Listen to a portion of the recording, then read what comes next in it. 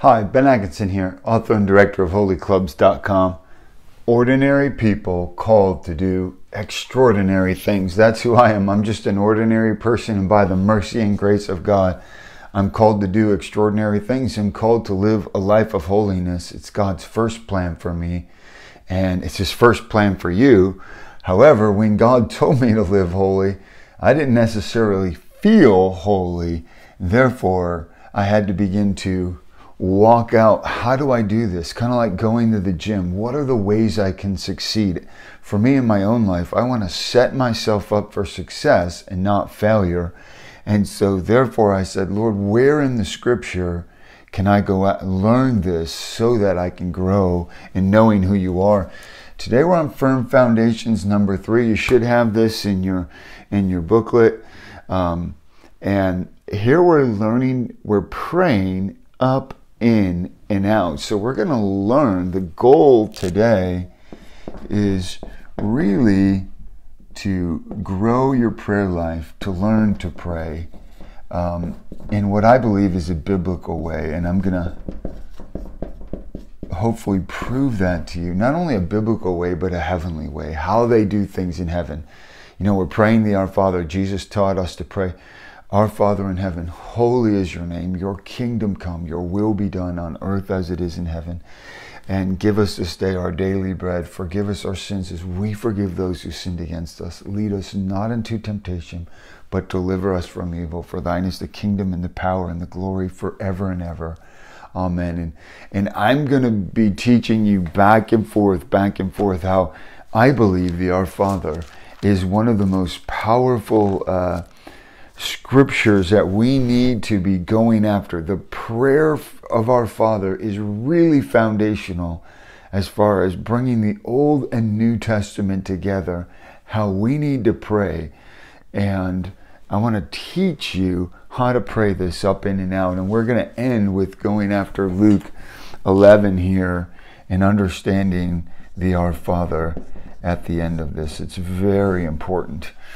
So, if you're either you're watching this video because either you're number one you're just curious or number two you've got your firm foundations you're going through this by yourself you're sitting there saying i want to learn this and then you're going to spend time on the, the talk to god or the meditation at the end. Or maybe you're getting prepared you're a teacher you're getting prepared to to uh, teach your group.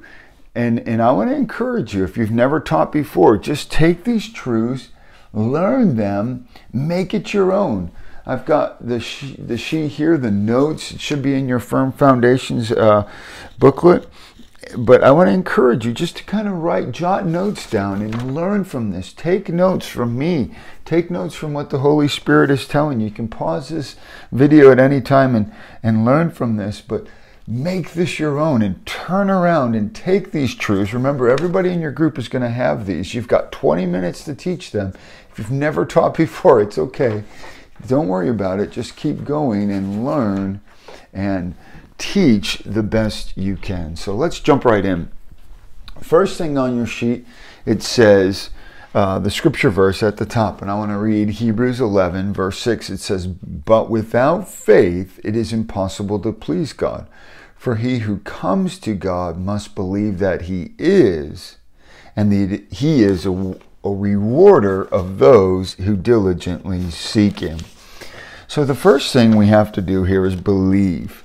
And believe is something that we've got to set our heart to do. A lot of times people are uh, they're not moving forward or they're caught in compromise or they're caught in pain or brokenness and a lot of this can be can come back to they don't believe that God is who he says he is we might know conceptually a scripture, but we don't actually believe it.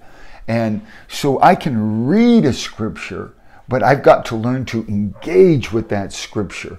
And uh, it's important. We would sit down in a coffee shop and spend an hour talking with someone and dialoguing with them and get to know them. In the same way, we want a purpose in our heart to spend time getting to know what God already wrote. And so, right here, we want to take time to go through these scriptures. We want to learn to believe. We want to engage our faith. And this happens when we begin to, how do we do this? We, we pray, we read, we text. That's why we have on the back of our sheet here, you've got this spot where we're teaching you to take the scripture and then you engage in it and you by meditating by talking to god by texting god and you're believing so this is where we abide in christ we've got to grow up in believing him that he is and he's a rewarder and he is the ultimate reward. And Abraham said that you are my exceedingly great, you are my shield, you're my reward. And so the reward here is Jesus, the knowledge of Jesus a lot of times we, we think of of the reward as kind of just winning the lottery and Jesus makes us rich and we sit back and kind of watch TV all day and our life is good. No, we diligently seek to believe and He is the reward. He is what gets us through our hard times. He is what helps us overcome what's been done to us and the sin that we done we've done ourselves. We've got to seek the knowledge of God. This is an action. This is hard work, harder than any uh, gym. I want to encourage you, but it's simple. It's what we, we we we're called to do. He also. It's also important for us to know that we must guard against unbelief. Hebrews 3:12. We've really got to guard against unbelief by growing in belief in who God is and by we go after learning, studying the Word, engaging with the Holy Spirit, texting God, spending time getting to know Him. Um, but you know, in Luke uh, 17 5, they, they say, the guard, we've got to guard our heart. They said, Lord, increase our faith, help us. We want to pray. We've got to guard against unbelief, and we've got to pray to grow in belief of who he is. I want to mark down here Luke 17 5. I want you to go after that. I want you to search these scriptures out, grow in these scriptures, learn these scriptures that I put on here for you. You've got to exercise your faith, you've got to guard against it. Okay. Now, next we look at He is a rewarder. Again, we talked about this a little bit, but really this is to know God. We've got to spend time seeking after Him. We've got to know Him and we believe Him. And as we seek Him out, He is going to reward us. Again, it's not just about us kind of growing rich and getting more TV time and cooler vacations. It's about the knowledge of God, it's about knowing who He is. And I love searching out the scriptures daily daily I want to know more about God. When I read the word in the morning before I get up and do anything, I go deep in the word of God. I want to know more about God.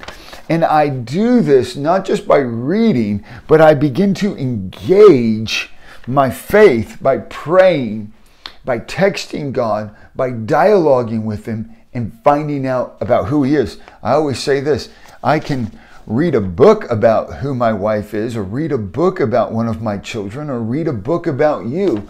However, if I sit down with each one of them and talk to them, I'm going to get to know them more if I have face to face communication. And especially now in social media where we think we're connected to people, but we're not. We've got to get face to face with these people. Um, I throw back in here uh, believe and obey. And this is how we engage our faith. More, this is more of a how, how to. And first of all, the, there's passages of scriptures. When we're reading through the scriptures, there's scriptures where we find out really who God is, the knowledge of God. And so, what we do is we want to stop and we want to pause. And I say this when I'm praying I say, Lord, Help me believe this. Let your truth come inside me, come inside my mind and renew my mind that I'm a new creation. Come inside my thought patterns and my speech and my life. Help me to believe. And then God's word, these truths will come and they will empower us to grow in love, empower us to grow in forgiveness, His word will be a light, a lamp unto our feet, a light to our path. We want God's truth to transform us. And so I want to engage myself by saying, Lord, help me to believe this. Give me grace to believe this. Now, when I come to a passage that says, I've got to obey, I actually stop and say, Lord, help me obey. Help me obey this scripture. I just pause. And part of my growing in belief and guarding against unbelief is I engage right here by saying, Help me to believe help me to obey. So I want to help me. I, I literally just ask him, please help me, God, take me. Another way, and a very important way, and something that you may not have ever thought of in the past, is right here, and it says, we want to minister to God. And I just want to make this clear. Um, Uh, in the Old Testament, when the priests would come before the Lord, they would minister to the Lord. They would sing to the Lord. They would declare praises to the Lord. The people of Israel would do that. But we, we want this to be on earth as it is in heaven. And so what we do is we've got to understand that in heaven, what are they doing right now? What's going on? When we look at this, when we look at the scripture, when you look at Revelation chapter 4 and 5, you get a picture of what's happening in heaven. And I would encourage you, maybe just pause right now if you're a teacher or if you're doing this for yourself, just pause this video and read Revelation 4 and 5. Okay, so hopefully you just read that and you're sitting there going, wow, that is amazing. If you've never read that before, you can see that there's there, God is the center of it all, the Father, Son, Holy Spirit. And from that, you know, you've got God in the center, around four living creatures one, two, three, four. They're singing holy, holy, holy. Then you've got 24 elders, and you've got myriads and myriads of people, of, of, of those heavenly hosts singing and crying out to the Lord. And so this is this is amazing how it's set up, but they're all centered on the Lord. They're, those four living creatures are staring at the holiness of God. They're staring at who He is, what He thinks and feels, the character of God, and they're singing the revelation that they get right back to Him.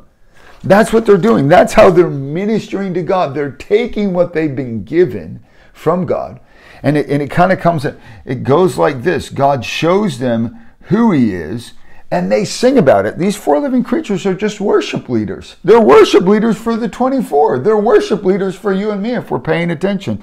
And then these 24 elders, they cast their crowns down and they go, You're worthy, you're awesome. And so, and it just keeps going over and over and over. If one of the four living creatures came to your church, he would not talk about how to feel good, get rich, and grow your life to, and so you can just kind of kick back. They would talk about the holiness of god. They would draw you into the holiness of god because that's all they do. And they choose to be here. These four living creatures aren't slaves.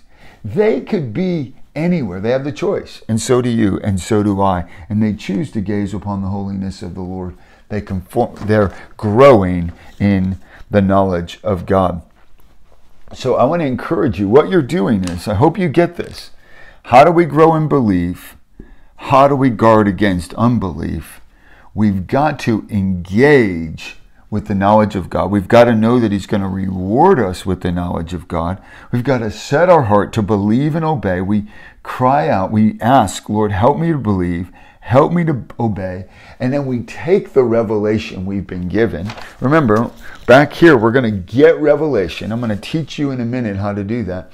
And then we'll take that revelation and we're going to minister it back to God. And again, this is, we want to give all glory, honor. This is how the, I'm going to actually talk about in Luke chapter 11. It says, Our Father in heaven, hallowed be your name, or holy is your name. Really, this is the same thing as the four living creatures. They're looking at God and they're declaring back to God who He is. They're ministering to God. So in Luke 11, the Our Father in heaven, it's Jesus says, pray this way. First, take time to minister to God. I bet you never thought it like that. You kind of just said it, thought the Our Father was something you get through. No, no, no, no. The first thing is to learn to minister to God, which is actually praying up. And we're going to teach you to do that in just a moment. But I want you to just hit this further. David, Psalm 27 4. If you don't know this, you've got to know it, where it says, David says, One thing I desire, that which I seek, to gaze upon the beauty of the Lord, just like these four living creatures, gaze upon the beauty of the Lord and inquire. He wanted to do these two things. He wanted to gaze at God's beauty, and then he wanted to inquire. He wanted to grow in the knowledge of God. These are such two very, very, very important parts. This has to be instrumental in your life because what are you gazing at? Are you gazing at other people's social media posts who are they're not even telling the truth about their life? Or are you gazing at God? You've got to take time to gaze at God. If you're in a place of compromise or you're in a place of woundedness, you've got to take time to gaze on the beauty of the Lord and stop gazing on everything else. Gaze upon the beauty of the Lord. Psalm 29 says, Worship the Lord in the beauty of holiness. We've got to see his beauty. David understood that. I've got to do this. He had some issues, he had some problems, but he overcame those by coming back to the Lord, telling him he was sorry. But he also not only gazed, you've got to, he inquired. He wanted to know more and more about who God was. And it's important for us to know I want to see your beauty, I want to gaze at you, and I want to inquire more and more. And this is what the four living creatures are doing. And then David turned everything back around in song to the Lord. We're going to teach you how to do that right now. So let's get ready.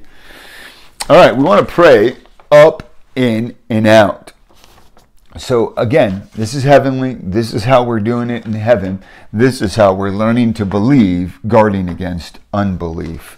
So, first of all, on your sheet, it should say, What does this show me about who you, God, are? It's important to know that who God is, is He, um, again, when we're in the up section, we want to look at this and we're going to learn to pray up, in, and out. And what I mean by this is the four living creatures, they're praying up. We want to minister to the Lord. We want to tell him who he is. We want to pray in. We want to pray in our hearts. We want to get that in our hearts. We want the truth of what God Remember, on the sheet it says, What does this verse show me about what you, God, think about me and feel about me? So we want that truth to come into our heart. We want that to be a seed. We want the revelation that God gives us to be our, a seed that goes into our heart and bears forth fruit that touches our lives and touches those around us. And then out, we want to learn to pray for our neighbor. And Luke 11 obviously follows through with that. But let's let's start here by praying up as you grow in belief, you've got to diligently seek after the beauty of God, the in, in knowledge of God, and declare. You've got to then declare the truth. A lot of times we get revelation, but what do we do with it? And so um, the world gets revelation of different things, and it can be compromised, and they turn it around into song, and then it goes viral, and and it infects people. I'm I'm doing a wordplay there and but we have got to get the knowledge of God inside of us. Songwriters, creative writers, those of you are called for novels and creativity and dance, you've got to get the seed of the word of revelation in you and then bring that forth in creative expressions, in playwrights, songwriting, uh, different things to transform the communities around you. But you do, you've got to be at first a priest before the Lord, this person who takes the revelation and turns it back around in prayer. Does that make sense? And so you've got to, your ministry to God will allow you to increase your heart and the atmosphere around your city. It'll infect you. It'll, it'll, it'll begin to be an overflow. Your creativity will overflow with who God is. Um, God, Psalm 22, 3. I want you to encourage you to stop right now and look that up. You can uh, just go through it but what it's saying here is that as we're singing, God's enthroned in the praises of His people. As you are ministering to the Lord, it's a it's a canopy of His love over your home, over your community. Um, God enjoys your devotion. You move his heart. When you minister to him, he rewards you with more and more of who he is. And I usually just say, when I'm, again, the question we're asking in our uh, time on the sheet is, what does this scripture show me about who you, God, are? Again, this is how we're forcing ourselves to inquire on the on the beauty and the knowledge of God. Does that make sense? This question is linked to beauty and knowledge. Because remember, this whole thing is about how you're going to grow in holiness, right? How you're going to walk in holy before the Lord. So as you see who He is, you can then see who you are supposed to become. Does that make sense? I want you to get that. As you look at Him, you're going to see that he's beautiful, see that he's knowledge. That's who he is. His character, his knowledge is his holiness. And this is who he is calling you to be. So you get a big picture of he has a high vision for you. Next, um, what we want to do, so we're going to get, remember, we get our builder sentence, we get our summary here uh, when we're doing this. And then we're going to, that becomes what we're going to do. After we take time meditating on this and talking to God, we'll get like a builder sentence here at the end. And that's what we're going to turn back around in prayer. And what I do is, for I've given you an example of how I help me believe and guard against unbelief. I say this I said, Lord, help me believe, give me revelation of this part of who you are help me know. And then I give you a phrase here of what I said. Maybe I've been texting God on, on, on who He is, and I go, You are, and this is the builder sentence I come up with You are holy, you are holy, you're holy, you're the Lord God Almighty. And then I want to thank Him. I just say, Thank you, God, you're the holy God. As I'm thanking Him, I'm enforcing believing and I'm guarding against unbelief. But I'm also ministering to him. It actually touches his heart. It makes him feel good and it helps me believe. It's really both and. And so as I'm going through this, thank you. Help me to believe. Give me more revelation. And I want this to be how you do things. We just want to say, thank you. Help me to believe. Give me more. And as you're doing this, what you're doing is you're setting yourself before the Lord. You're engaging in belief. You're guarding against unbelief. And uh, in what does this verse show me about who you are? What you, who you God, what you God think about me, what He thinks about me, and I added feel because it's important to know that He feels emotions for us. So we see His beauty, we see His knowledge, and then we want to know what he thinks and feels about us. And this is this section here. So we're taking the scripture that we're starting with, we're getting revelation, we're learning to believe, but now we're at this place where, okay, I know who you are. Now tell me what you think and feel about me. This is intimate. This drives home the different things. And we've got to grow in belief, guard against unbelief by I'm, I'm right here on the sheet, on the teaching. We've got to grow in belief as we minister back to God what He thinks about us. We're actually going to turn this back around, the revelation we get here, and we're going to minister it back to Him. We've got to seek the truth about who He is, what He thinks and feels about us. As we do this, as we speak back to Him who He is and what He thinks and feels about us, His heart is going to be moved. And then he's going to touch our heart.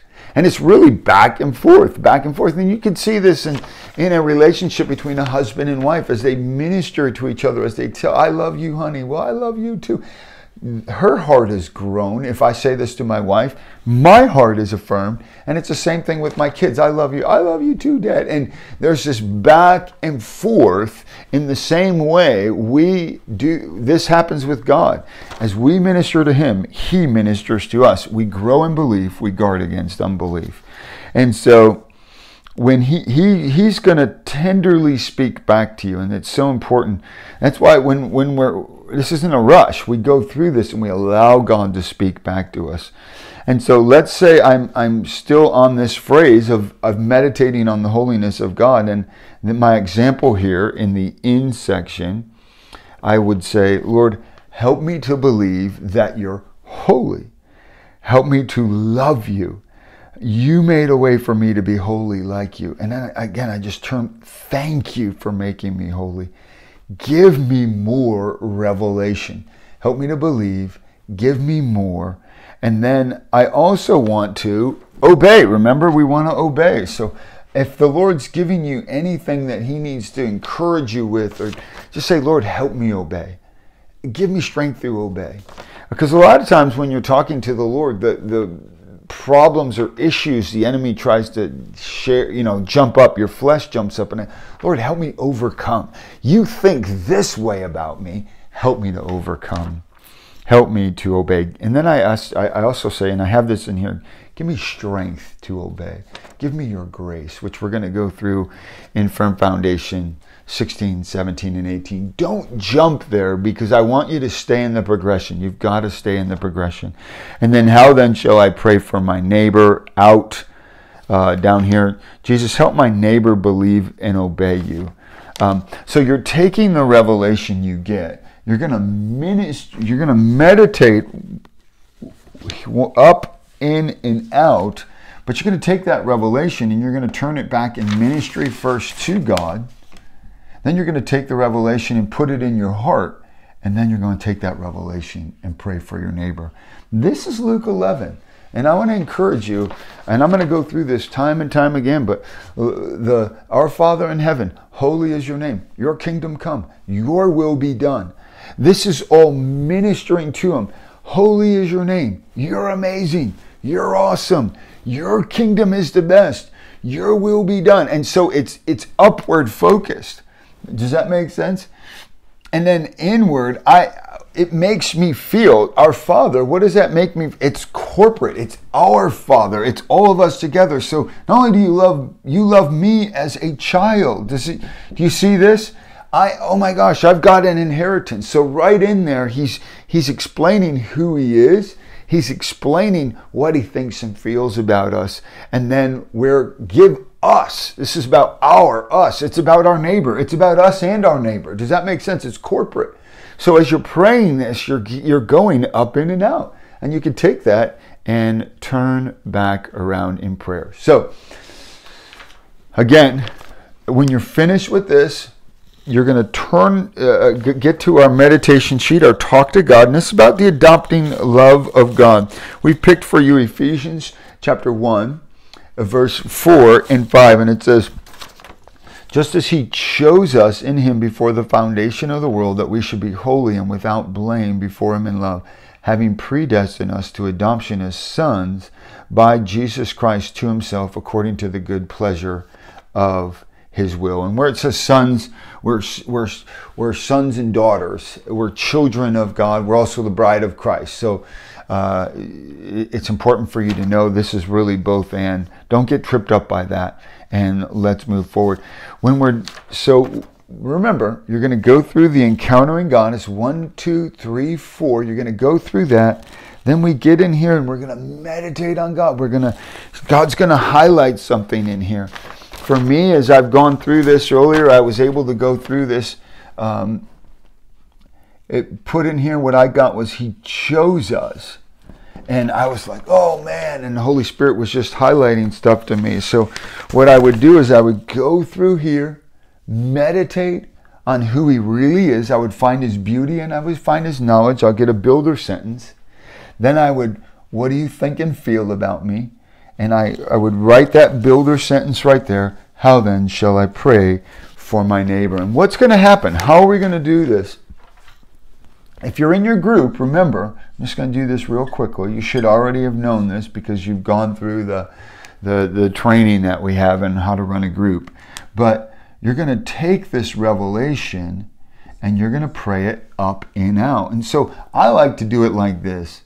I like to go around three times. I mean, I'm just giving you a, how I do it. And the first time we pray up the first time we take our builder revelation that we got and we pray it up. So I declare. So the first time around, it may be something like this. If I've meditated the God who chose us in Him before the foundation of the world, I would say, You are the one who chose us. Before earth existed physically, you chose me. I, I, I did this meditation earlier. Um, and, and I would just declare it. Remember, see my language. I'm talking to Him. You are, as if He is in the center of the room. Just like our four living creatures over here. Well, here you all are. Does that make sense? Your group, whether you've got 50 or you got five or what have you, or you got three. Maybe you got four, like in heaven. I don't know. But you, the first time around, we declare who He is. We're praying up. Does this make sense? First time around, we're praying up. And we just declare, You are the one who chose us. You don't have to get huge and massive or whatever. You chose us. The next person prays, their builder. The next person, the next person. So the first time around, we go, we declare the revelation up. Next time around is what we got in. And as when I meditate on, on the, He chose us, I, I knew that I, I got the revelation that despite my weakness, he went and reached down and grabbed me. He chose me.